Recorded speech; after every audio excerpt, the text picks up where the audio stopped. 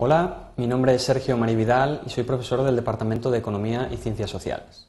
Lo que quiero mostraros en esta presentación es el tratamiento contable de los activos financieros mantenidos para negociar en el Plan General de Contabilidad del año 2007.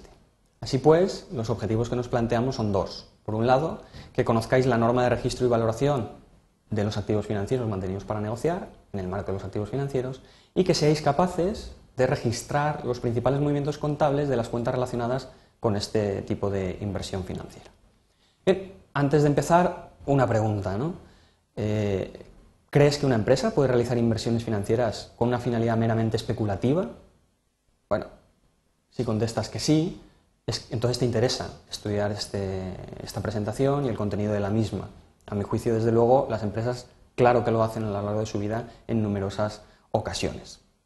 Bien, ¿Cuál es la secuencia que vamos a seguir? Presentación y explicación de la norma de registro y valoración desde un punto de vista un tanto más teórico, que es lo que establece el Plan General de Contabilidad. A continuación, desarrollar algún ejemplo práctico de aplicación de la norma y finalmente resumir los principales aspectos. Bueno, pues empezamos. ¿Qué entiende el Plan General de Contabilidad por activo financiero mantenido para negociar? Bueno, pues tres grandes eh, grupos. Por un lado, activos financieros que se originan o adquieren con el propósito de venderlo en el corto plazo estos son valores representativos de deuda o instrumentos de patrimonio cotizados que se adquieren para venderlos en el corto plazo. Valores representativos de deuda, bonos, obligaciones, letras, pagarés, instrumentos de patrimonio, acciones, básicamente. Segundo grupo, pues otro tipo de activos financieros que se gestionan conjuntamente y de que en el pasado hay, hay razones de que se han tratado como mantenidos para negociar. Bueno, y un tercer grupo que serían algunos instrumentos eh, derivados bajo determinadas condiciones. Nosotros nos vamos a centrar únicamente en el primero de los grupos. ¿Qué establece, pues, eh, la norma a efectos de valoración inicial? nos dice que inicialmente lo valoremos por el valor razonable, es decir, el precio de la transacción que equivale al valor razonable en la contraprestación entregada, es decir, el importe por el que nosotros compremos esas acciones, por ejemplo. Si hubiesen gastos que sean imputables a nosotros en esa compra, que pues, suelen existir, se reconocerán en este caso en la cuenta de pérdidas y ganancias del ejercicio, es decir, no formará parte del valor razonable de nuestra inversión.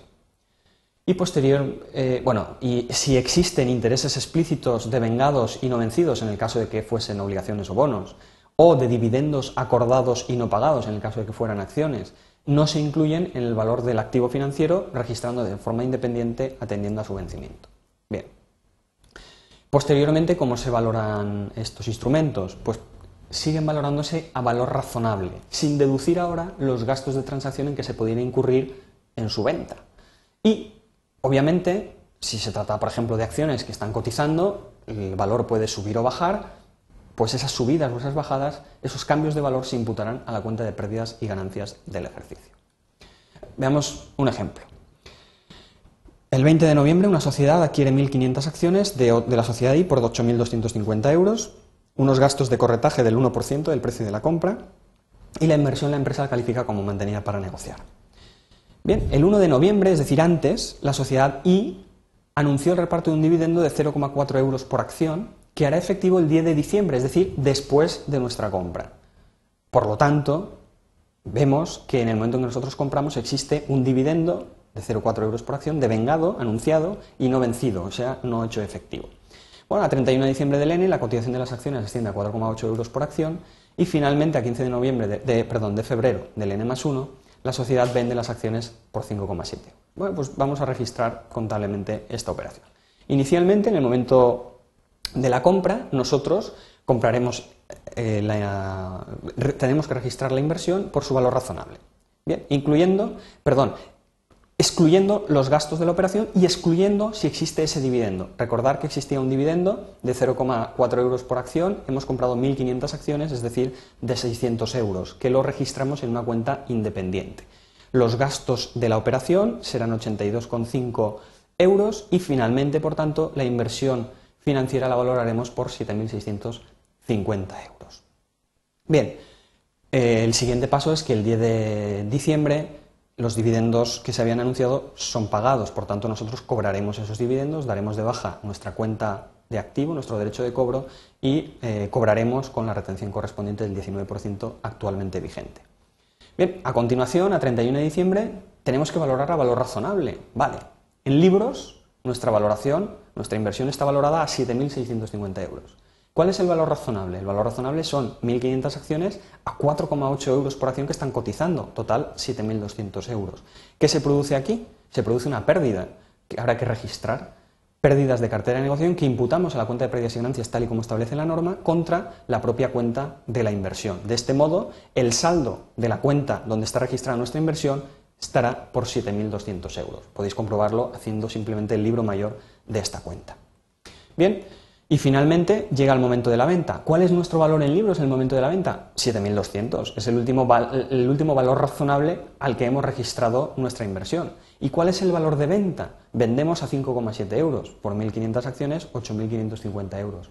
Obviamente aquí se produce una plusvalía. Plusvalía que en este caso registramos en la cuenta 766 de beneficios en participaciones y valores representativos de deuda. Por 1.350. Damos de baja nuestra inversión por el valor por el que está contabilizada, recordar 7.200 euros, y cobraremos el valor, obviamente, de la venta. ¿Cuáles son los conceptos clave aquí? Pues básicamente uno, el valor razonable de nuestra, puesto que es el que hay que valorar eh, la inversión en todo momento. Y esas plusvalías o minusvalías que se generan hay que registrarlas imputándolas a la cuenta de pérdidas y ganancias. Para profundizar, pues os propondría que registrarais eh, una inversión en valores representativos de deuda que se clasifiquen en esta categoría, puesto que no solo hay que registrarlos a valor razonable, sino que habrá que devengar la carga financiera, los intereses que devenga esa inversión, etcétera, y por tanto se complica algo más la contabilización de estos instrumentos. Bien, y esto es lo que quería mostraros, espero que os haya sido de utilidad, nada más.